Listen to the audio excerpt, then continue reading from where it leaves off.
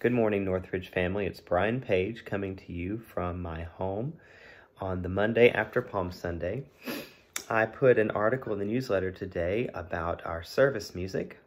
Uh, now that we're about to go into Holy Week and eventually coming out into Eastertide, we will be uh, returning to our um, standard Kyrie. We'll also be using Oh Friends in Gladness, Let Us Sing in place of the Gloria Patri during Eastertide. But another change, uh, and the main reason that I put this article in the newsletter, was the use of a new Sanctus. Um, had things had gone the way we had planned, yesterday the children's choir and NYME would have presented this Sanctus as an anthem during worship, and then the plan was to use it congregationally on Maundy Thursday, a folk version with guitar and voices, and then on Easter Sunday, a more festive, lively, robust version with organ. So the melody is the same um, for both versions, the folk version and the organ version. Uh, but today I'm going to be presenting the uh, folk version to you with my guitar and my voice. And we still plan to use this in uh, our virtual worship on Maundy, Thursday, and Easter Sunday and as we move forward when we have celebrate communion.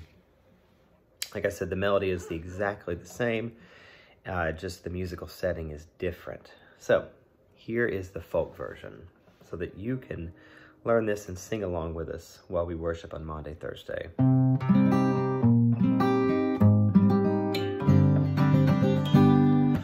Holy, holy, holy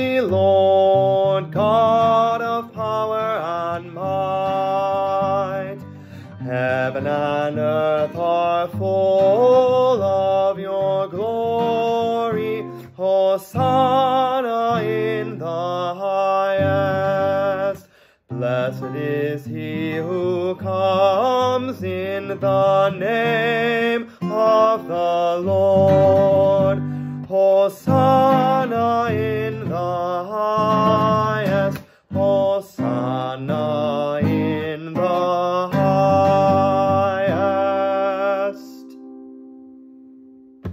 So that is the version, the folk version that we'll be using this Maundy, Thursday. Again, the version we'll be using on Easter Sunday is the exact same melody, just with a uh, different accompaniment organ.